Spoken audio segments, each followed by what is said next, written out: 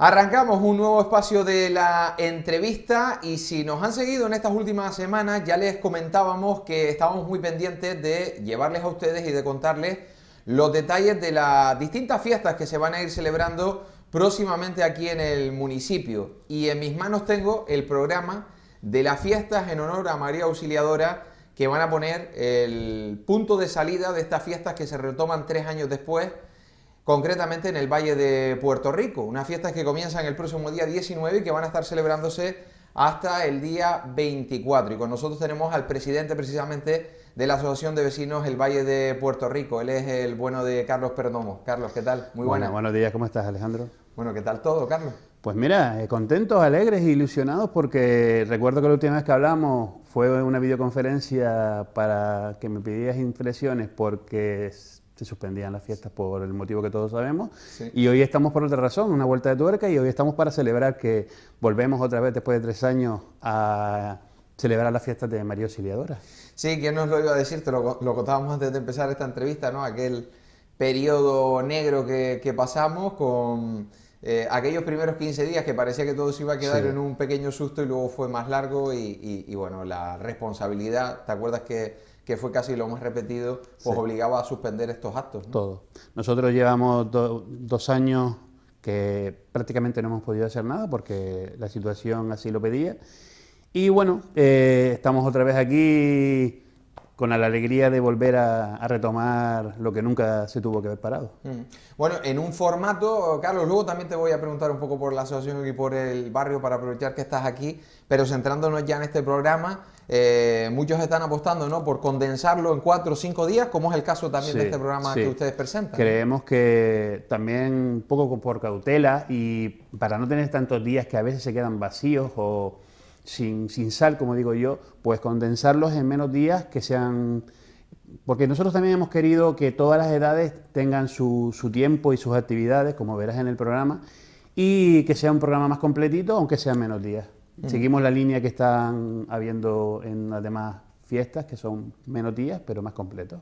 Sí, digamos que lo principal sí que está, ¿no? Los, actos principales, lo que la gente espera y al final, más que nada, las fiestas son al final un punto de encuentro, ¿no? El volvernos a reencontrar mucha gente que, año tras año pues va al barrio, otros que allí siguen, como es el caso de ustedes, pero otros que se han ido y que vuelven para, estos días. ¿no? Sí, eh, las fiestas de, Puerto Rico, porque en sí es todo el valle, no solo Motor Grande, eh, ha sido siempre una fiesta como muy familiar. También recibimos muchos visitantes de allá, que en 2020 te decía que se cumplían 30 años desde que se comenzó la Asociación de Vecinos y la fiesta y han sido para el pueblo y para todos los visitantes que nos llegaban, pero realmente era una fiesta como muy, muy familiar, muy tranquila, muy relajada.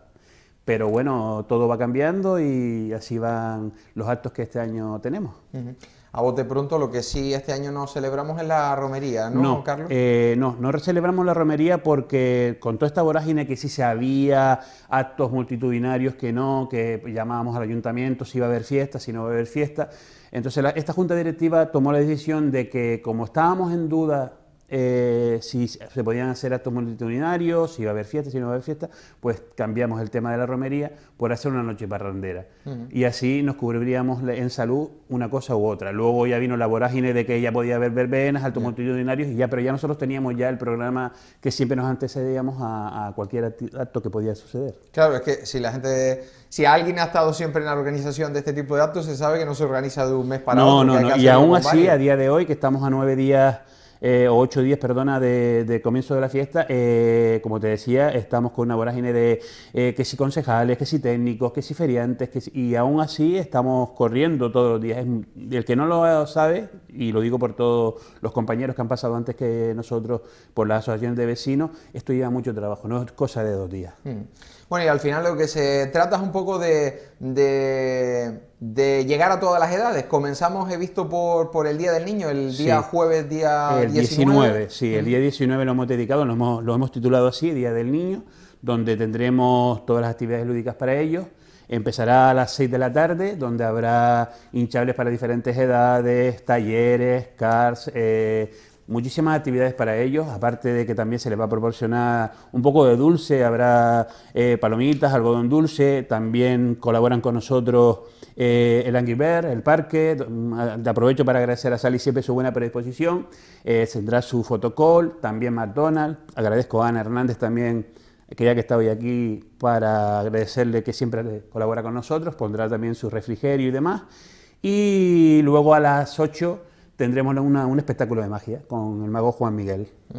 Y como bien decías, eh, aprovechan el viernes para una noche parrandera en la que la música popular pues, es la por supuesto, Por supuesto, ya que no pudimos hacer eh, lo que es la romería, pues hacemos noche parrandera, donde hemos invitado a las agrupaciones folclóricas del municipio, ahí están que vienen los pescadores, vienen Guayajares, viene la parranda de Beneguera, que ellos gustosamente han aceptado la invitación y, los tendremos ahí actuando para nosotros a nivel reconocimiento de agrupaciones municipales y luego terminaremos con la actuación del grupo Melmejunge.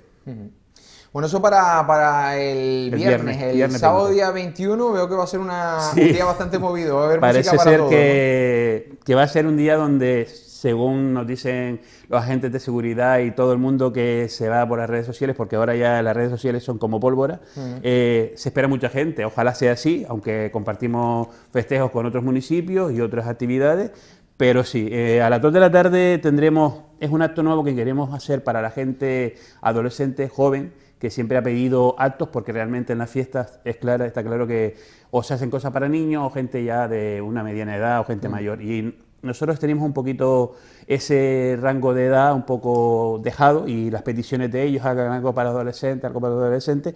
Tenemos eh, una Holy Color, donde actuará eh, Sierra Loube y el DJ Samito. Eso es a las 2 de la tarde y tendrá una duración de dos horas y media, una cosita así. Y esperamos que sea de gusto de toda la juventud y no tan jóvenes, que puede ir cualquier persona, tanto de más edad como de menos. Eh, todos conocemos lo que es una fiesta Holly, que son las fiestas de los pueblos de colores, y habrá animación, diversión e intentar pasarlo bien y que disfruten todos los que vayan. Y luego por la noche, por si les queda todavía ganas, pues tenemos al dúo que está repitiendo mucho. Ya he visto por ahí fiestas en las que han repetido juntos, ¿no? Paco sí. y Armonía Show. Eh, nosotros, ya te digo que este programa estaba ya hace dos meses ya eh, hecho eh, no sabíamos que iban a actuar en, conjunto en varias fiestas. Eh, todo el mundo sabe quién es Paco Guedes, quién es Armonía Soul, la gente que trae. Y nosotros le dijimos, bueno, ya que este año, después de tres años sin que la gente haya tenido fiesta, vamos a darle un poquito de gusto al cuerpo. Y hemos decidido que venga Armonía Show y comparten cartel con Paco Guedes. Eso sería el sábado, empezaría la verbena sobre las 11 de la noche y me imagino que sobre las 3, 4 más o menos es a la hora en que, en que terminará. Incluso vamos a tener fuegos artificiales también. En medio, exactamente, como, como es de costumbre, la exhibición de fuegos artificiales a las 12 de la noche y esperando que sea grato para todos. Y ya veo que ustedes, como me decías al principio que no que lo condensaban todo, no hay tiempo que perder porque el domingo también tienen su alajera al mediodía. Sí, eh, normalmente las anteriores juntas directivas siempre hacían lo que era una típica comida para socios y demás y hacían paella y demás. Nosotros este año hemos decidido también darle un gusto a los vecinos y visitantes. Tendremos a Yarey Socorro y tendremos también un asadero para todos aquellos que nos quieran acompañar en ese día. Y por si fuera poco, por la noche humor. Sí, que, menos, ¿no? Que, ya, tenemos que empezar a reírnos un poco porque ya ha sido tres años en que era todo pesimismo, malas noticias, malas historias.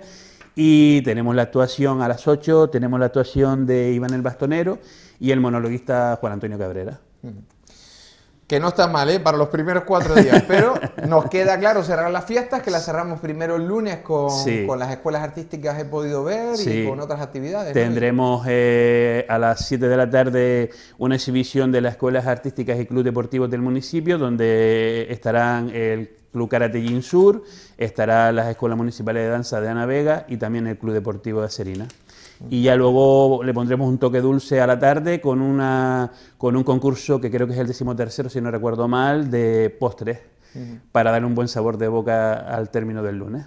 ¿Son animados ahí a participar en Sí, este tipo eh, la verdad que sí. Eh, en un principio no, no, no, iban con... porque siempre da el tema de la vergüenza, pero ya a, medida que han ido pasando posteriormente los concursos se ha animado bastante gente y, si no recuerdo mal, en el 2019 hubieron bastantes postres que se, que se presentaron.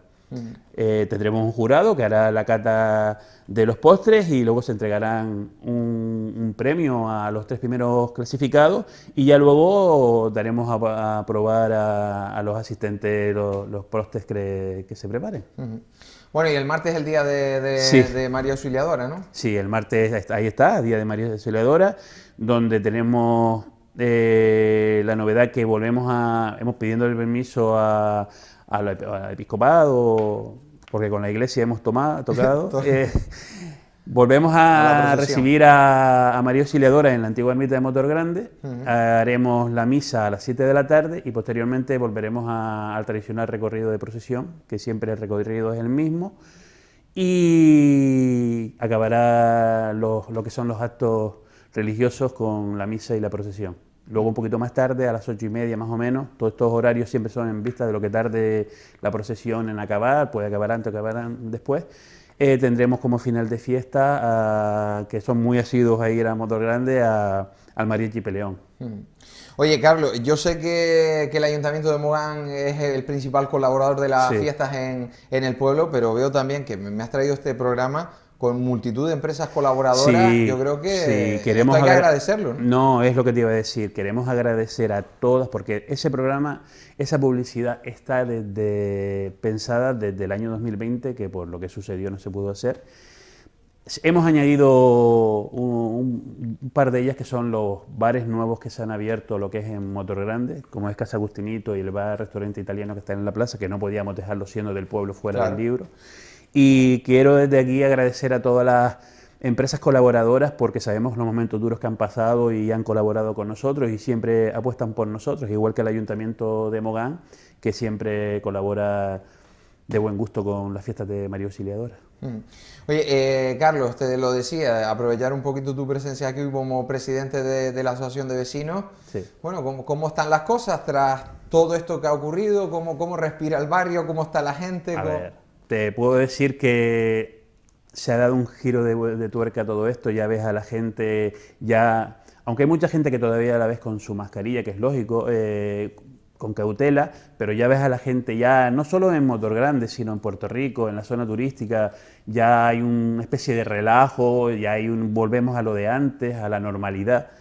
Eh, se ve con muy buenas perspectivas y esperemos que a la medida que va pasando lo que es este año ya se olvide ya lo que hemos pasado años anteriores. Uh cuenta que este periodo nos ha cogido de por medio con ese crecimiento imparable de, del Valle de Puerto Rico, con esas nuevas zonas comerciales que al final se trata de, empleo, se trata de economía, de mucha gente que va al barrio. ¿Ha complicado un poco el día a día de la gente del Valle? ¿o eh, no, no, nosotros no, nosotros nos llevamos bien con todo. Es más, agradecemos, hoy en día podemos decir que somos unos privilegiados, tenemos un supermercado en la puerta de nuestras casas, las zonas industriales, lo que son las naves industriales, tenemos la Guardia Civil que más seguros no podemos estar, eh, un instituto que, gracias a Dios equipara a muchísima gente de lo que era en su momento.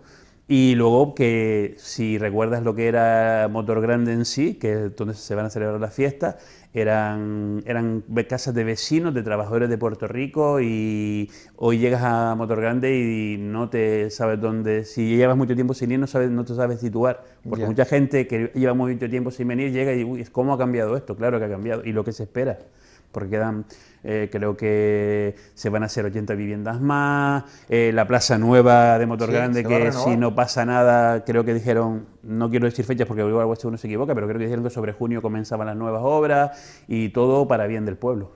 Eso te iba a decir. O sea que mm, quejas pocas, ¿no, Carlos? Un poco adaptarse a las circunstancias, eh, a las mejoras que, ha tenido. Exacto. Y, y, bueno, lo más importante ahora, ¿no? Que parece que que después de toda esta situación, que la economía ha vuelto y la gente ha vuelto a sus puestos de trabajo. ¿no? Sí, ya todo, gracias a Dios. Todavía queda mucha gente que, que tiene que recuperar eh, la economía en sus negocios. Ha habido muchos negocios también que se han cerrado, no solo aquí, sino en mm. todas las partes. Pero bueno, siempre con perspectivas de que vuelvan a abrir otros negocios y que todo vaya con el del viento de cara.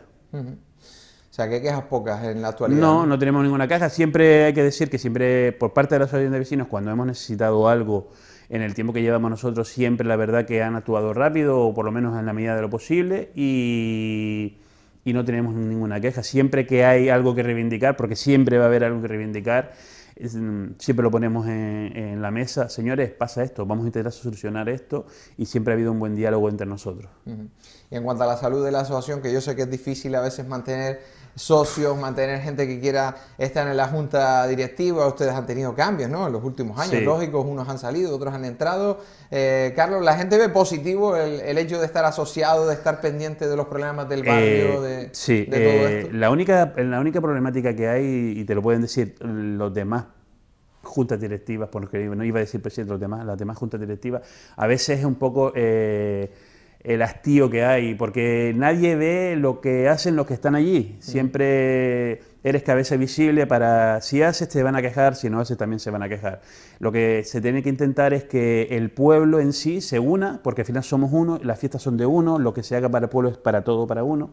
Y hay que agradecer a todos los que han estado anteriormente, que han logrado peleando lo que tenemos hoy en día, para los que vengan posteriormente, seguir peleando para que haya mejores y mejoras en el pueblo. Pues sí esa juventud ¿no? que viene apretando fuerte. Yo no, no, tengo los datos estadísticos, pero sé que es una zona en la que también hay mucho joven y, y que deben de ser ellos los que luego tomen el testigo. Ellos nos reivindicaban lo que es la juventud, eh, que hubiera un acto para ellos, con lo cual este año hemos pensado ese acto porque son parte del pueblo y también necesitan tener sus actos.